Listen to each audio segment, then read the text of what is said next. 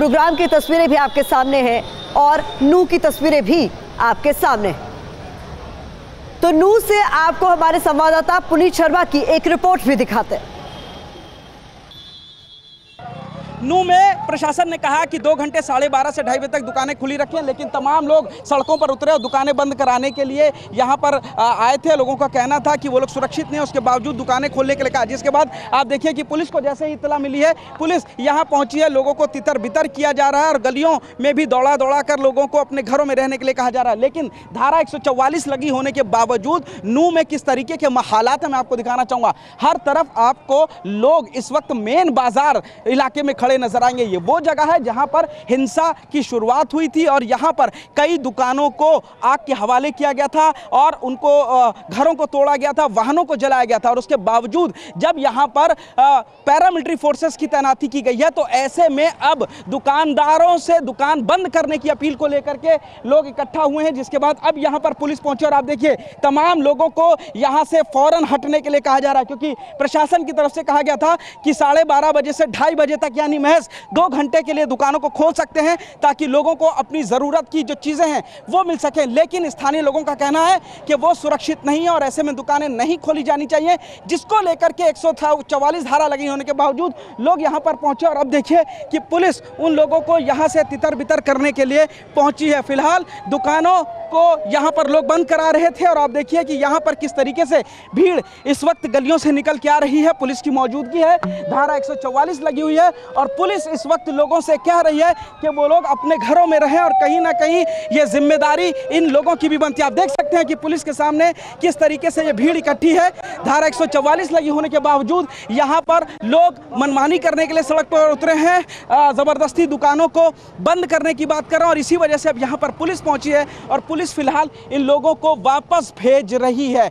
ये मंजर है नू की उस सड़क का जहाँ पर 31 जुलाई को हिंसा हुई थी आगजनी हुई थी, घरों को जलाया गया, गाड़ियों को जलाया गया और यहाँ पर पैरामिलिट्री की फोर्सेस की तैनाती की गई। कैमरामैन विपुल के साथ पुनित शर्मा, टीवी ने भारतवर्ष, नू।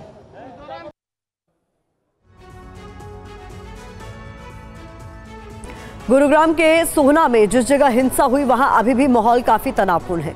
लोग डरे हुए हैं। हिंसा के चलते कई परिवार ताला बंद कर बाहर चले गए हैं। देखिए सोहना से हमारे संवाददाता विवेक शर्मा की रिपोर्ट। अभी भी कई परिवार के लोग नहीं लौटे हैं। घर के ये लाल रंग का गेट है और आपको ताला यहाँ भी नज़र आएगा और ये सामने काले रंग का गेट है। अंदर बाइक खड़ी है और बाहर ताला है। तो ये इस तरह के हालात हर जगह हैं। मतलब ताला इस पूरी कॉलोनी में देखा जा रहा है कि कोई हर जगह ताला ही ताला है। हाँ, ताला ही ताला जी बस सारे लोग अभी कहाँ पे? मतलब जब ये हिंसा हुई तो भीड़ जब दिख रही थी तो तब उसके बाद यहाँ से चले गए थे ये बात। ये सब चले गए थे मतलब जब आग लगी थी तो मतलब सब सब तल गए सब सारे बच्चे पहुँचे छोटे छोटे बच्चे उन्हें लेके ले सब मौसम ना हो रहा है बच्चे परसों से जब झगड़ा हुआ है, जब से ही भूखे पिसाए, हम तवाई में आए पड़े हैं। डर के मारे, बस मैं ही मैं हूँ, बुढ़ियाई बुढ़िया। सब बच्चे ने भूखे पिसाए ने लेके नहीं पहाड़ में पड़े हैं। बालक सब घबरा गा और घबरा के नहीं वे सब निकल निकल के भगा। हमें भी ढेरे ही आई हूँ। हम घबरा के नहीं गिरता पड़ता दोन बुढ़ा बुढ़ी। और भाई हम, हमारे को रोइंग रोंग बच्चा ना, सिर्फ़ ऐसे ही हटकागा हम, जैसे है। अच्छा ऐसे ही ताला अटका के चले गए के मार सामान धरा हमार डकैत धरा यहाँ सब नु घबरा के जब आया ढेरे मतलब बस न खोलो न कुछ नु को खड़ा बाहर के बाहर। घबरा के नहीं घबरा गया और हमारे बालक छोटान की पतो ही ना कितलू गया कहाँ गया कहाँ ना तो आप कब गई थी यहाँ से? हम रात रात गए हम हिस्से लेकर के ज़्यादा ज़ोर हो रो जो परसों भी चले गए फिर ढेर ढेरे हम खाट में खड़े होते भगिया वहाँ। अच्छा। घर के मारे हमारे ना ताड़ो लगे ना कुछ लगे। तो आज लौटे हैं आप आज लौटे माता जी किस तरह की दिक्कतें हुई? क्या जहन में आ रहा है आपकी अभी फ़िलहाल कैसे डर है। अभी भी डर है? डर है बेटा। अब तो पूरी तरह से फोर्स लग चुकी है सब कुछ। डर है। फिर भी डर हाँ? डर है। तो बच्चे आपके भी बाहर हाँ? छोटे बच्चा तो बात हुई हाँ, बाहर। और ये ताले खोल के देख लिया और बेटा हम तो हाथ जोड़ कर हमारा हाल हमारे बालक हम गरीब आदमी बस्ती हम दो पैसा का धंधो करें वो खत्म।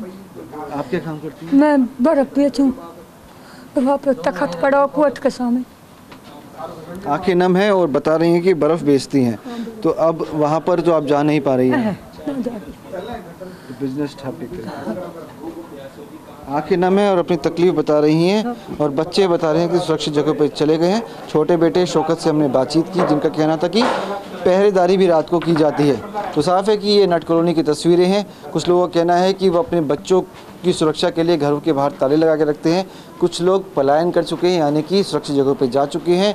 और यहाँ पर जो लोग मौजूद हैं, उनके अंदर दहशत का माहौल अभी भी बना हुआ है। हालाँकि प्रशासन द्वारा ठोस कदम उठाए जा रहे हैं, लेकिन अभी भी लोगों के अंदर कहीं ना कहीं दहशत ज़िंदा नज़र आ रही है।